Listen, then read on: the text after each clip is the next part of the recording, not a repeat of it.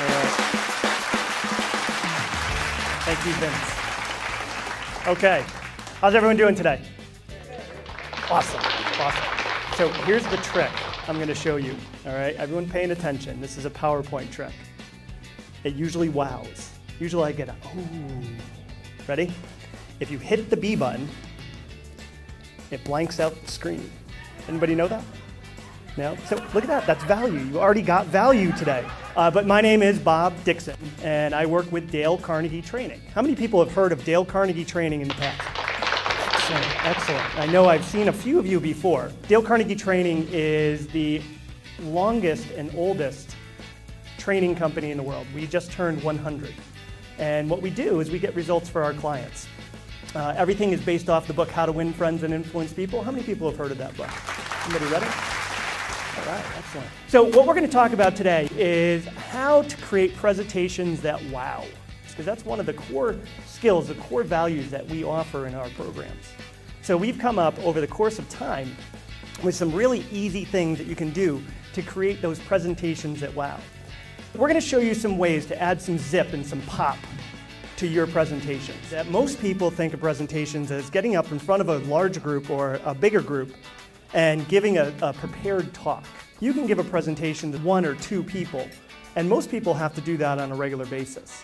And a lot of times what happens with presentations is people will sit down and they'll think about the words that they have to say.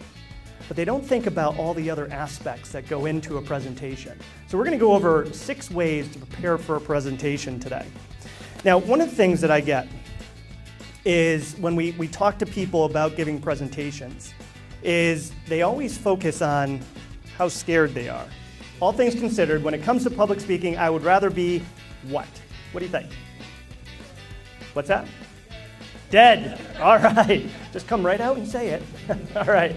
What else? There was a survey done by the Wall Street Journal. And in this survey, they surveyed 200 large company vice presidents. So only 7% is focused on the words.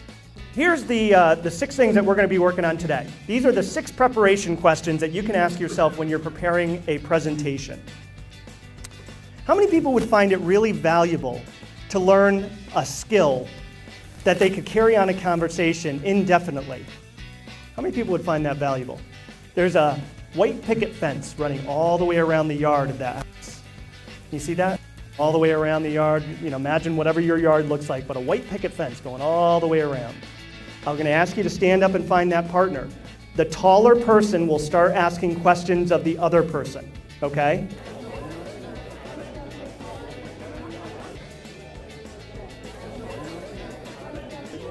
Okay. So what'd you think? How was that exercise? You guys haven't even stopped talking yet. How was it? Good? Yeah? How many people found out some really fascinating things about your partner? Look around, make sure your partner's hand is raised. All right.